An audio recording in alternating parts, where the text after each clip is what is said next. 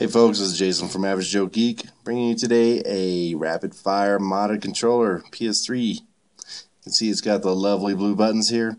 Uh, I'd like to, this is just a quick video just to show you what I got here to tease you a little bit. Uh, I'd like to say thank you to the fine folks over at gamersoption.com for, providing this to me. I will be doing a review on this as well as giving this bad boy away as soon as I'm done playing with it, which uh, I don't know if I ever am. As you can see, it's got the blue buttons with the basic black body on it. Um, try not to move around too much so that way it's not doesn't cause you to get motion sickness here. Um, so yeah, just you know, hey, stick around. You can find me online at averagejoegeek.net. Um, you can see me on PS3, also as Average Joe Geek. Um, and I'll let you know how this goes in the review, man.